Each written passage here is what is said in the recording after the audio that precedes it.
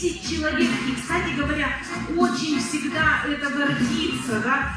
Вот, это у нас а, человек энергичный, человек батарейка, зажигалка, обожает сад, но не любит работать. И расскажет нам секрет, что надо делать, что получилось. Это встречаем Иванова Анна.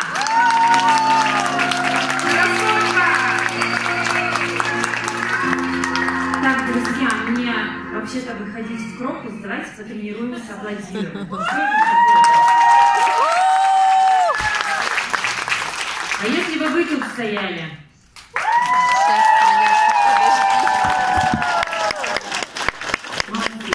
Я многодетная мама, младшему два с половиной года. Сегодня мой сын встал в 4 утра, сказал, мама, ты переспалась. Ну, естественно, он не говорит, но я все поняла. А я сейчас вас буду зомбировать, мотивировать и шантажировать. После моего спича спать вы будете с трудом, так же, как и я. Почему? А, вот Тоня, может, не любит картошку. Я картошку тоже не сильно люблю. Но я люблю сад. Я люблю деревья. Я люблю нашу землю. Ребята, а, я в своей деревне посадила 10 тысяч сосен и 4 тысячи кедров. Почему? Потому что деревья – это легкие планеты. Мы с вами все дышим, да? Дыхание, душа, дух. Вот Настя Бактерия-Бугалеева, помните, три лица она рассказывала. Это была я, которая спасает планету. Говорит, что это ненормально, деньги нужны. Про деньги тоже поговорим. И смотрите, мы все с вами дышим этим воздухом. Скажите, у кого есть такое вот ну, внутри, особенно кто в городах живет, что это производители виноваты, что воздух плохой, это потому что заводы там воздух гадят. Кто так думает? Поднимите руку, кто так думает. Заводы не убивают растения. Растения убивает бытовая химия. У кого есть сад? Возьмите тайт, ну, я надеюсь, вы им уже не стираете, начните там их полоскать водички выливать на одно и то же место. Вы увидите, что трава там перестанет растет, расти вообще.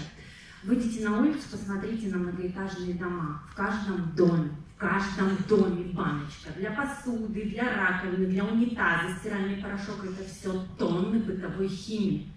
Прикиньте, сколько мы выливаем в свою землю, вот плакать охота. А на этой земле живут мои дети, ваши дети. Мы с вами загадили планету полностью. Когда Люсенька моя, Люсенька, встань, моя любовь. 28 до 100. С2 за 4 месяца. Представляете? Вот она когда жила, не было такой, да? Не было такой ситуации. Вот смотрите, вы знаете, что у вас есть Гринвей? Он у вас есть. Вы не гади, да? да?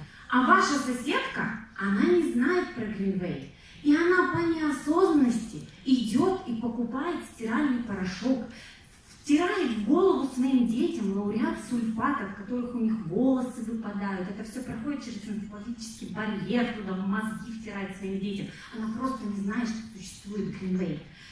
А вы знаете, и вы к ней не идете и боитесь. Так кто гадит? Гади – это тот, кто знает, что есть Гринвей, сидит и молчит. И вы в следующий раз, когда подумаете, что это воздух плохой, вспомните, скольким людям вы сегодня рассказали, что есть Гринвей.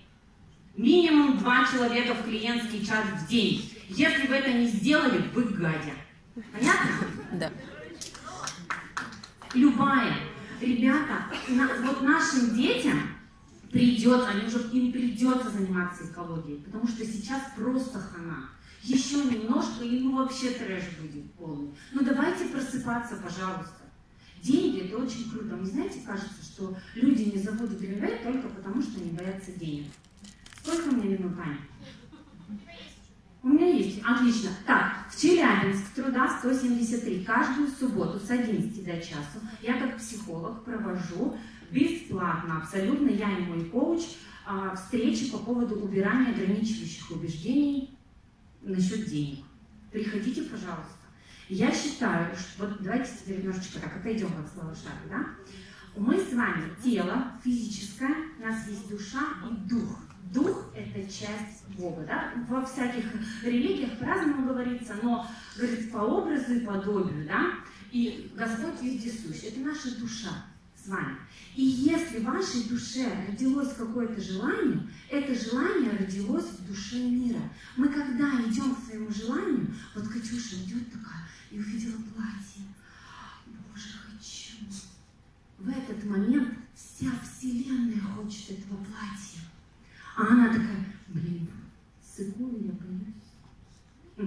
Она кому на горло наступила? И себе на горло наступила, и Вселенной на горло наступила. Потому что пока она идет к своему платью, что-то внутри нее распакуется, какие-то страхи распакуются, что-то доброе случится. У какой-то ребенок, понимаете, перестанет болеть аллергией, потому что его мать услышит, что из Гринвея перестанет химию покупать. Мы с вами несем огромную миссию, просто огромную. Мы помогаем людям зарабатывать деньги, нищете осуществлять. Настя Бахтигареева учила, вы представляете, что такое жопа мира вообще? Я только туда приехала, господи, полтора светофора на весь город, ну, или дивизию. У одной личка 1400, у другой 1100 биби. Они там вообще, наверное, дезодоранты не покупают. Я им когда в училы грузила, они дезодоранты, дезодоранты, дезодоранты, дезодоранты, дезодоранты, дезодоранты. Это управляющий офис говорит, у вас что, какая-то акция У них вообще там другие не продаются, дезодоранты Гринвей только. Представляете, вот сколько в городе? 75 это по области, а в городе сколько человек? 35 тысяч человек, у каждой лички обе в лидерских квалификациях, мне кажется, в училах каждый человек уже знает про Гринвей. И где бы девушка из училов за год заработала на дом? Ну вот где?